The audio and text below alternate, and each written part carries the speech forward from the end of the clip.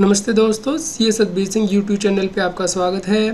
दोस्तों, पैन को आधार से लिंक करने की लास्ट डेट थर्टी जून 2023 थी।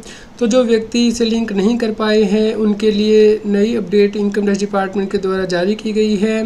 दोस्तों, इनकम टैक्स डिपार्टमेंट की नॉलेज में आया है कि बहुत से टैक्स पेयर ने चलान जो वो पे कर दिया था पैन को आधार से लिंक करने के लिए, लेकिन उनका जो चलान था वो डाउनलोड नहीं हो रहा था। दोस्तों, इस केस में इनकम टैक्स डिपार्टमेंट के द्वारा कहा गया है कि आप चलान की पेमेंट का स्टेटस चेक कर सकते हैं। ई पे टैक्स में लॉगिन करने के बाद यदि आपकी पेमेंट सक्सेसफुल हो जाती है तो उस केस में आप अपने पैन को आधार से लिंक कर सकते हैं। तो यहाँ पे आपको चलान रिसीट को डाउनलोड करने की ज़रूरत नहीं है पैन को आधार से लिंक करने के लिए। तो जैसे ही आपकी पेमेंट सक्सेसफुल हो जाती है, उस केस में ईमेल आपको भेजी जाती है, जिसमें कि जो चलान की कॉपी है, वो भी अटैच होती है। तो जहाँ पे कि फ़ीस पेमेंट और कंसेंट जो है ऑलरेडी रिसीव हो गई है इनकम टैक्स डिपार्टमेंट को, लेकिन उनकी लिंकिंग नहीं हुई है थर्टी जून 2023 तक। उन्हें भी कंसिडर किया जाएगा इनकम टैक्स डिपार्टमेंट के द्वारा। दोस्तों, जो व्यक्ति अपने पैन को आधार से लिंक नहीं कर पाए हैं, उन केस में जो पैन नंबर है वो इनऑपरेटिव हो जाएगा। इस केस में वो लेट फ़ीस को पे करके अपने पैन को ऑपरेटिव कर सकते हैं, लेकिन इसके लिए थर्टी डेज़ का टाइम जो है वो लगेगा। इसके अलावा यदि आपका पैन इन ऑपरेटिव बन जाता है तो उस केस में आपको इनकम टैक्स डिपार्टमेंट के द्वारा रिफ़ंड नहीं दिया जाएगा।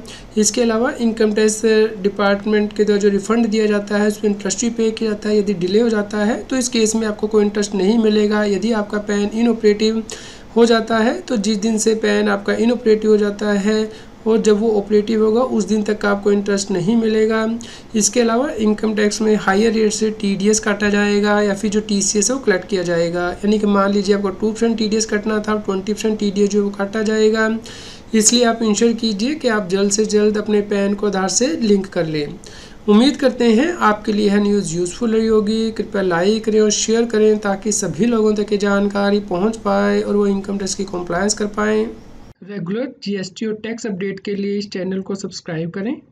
फ्रेंड्स आप टीडीएस इनकम टैक्स जीएसटी और अकाउंटिंग सॉफ्टवेयर ऑडिट ट्रेल के साथ कॉम्प्लायंस आसानी से कर सकते हैं। इन सॉफ्टवेयर के डेमो देखने के लिए आप हमें मोबाइल नंबर के साथ ईमेल कर दीजिए Taxil at the rate gmail dot com पर। आप हमें Telegram app C S B Singh Taxil पर ज्वाइन कर सकते हैं, ताकि आप जीएसटी और इनकम टैक्स के रेगुलर अपडेट अपने मोबाइल पर ही प्राप्त कर सकें।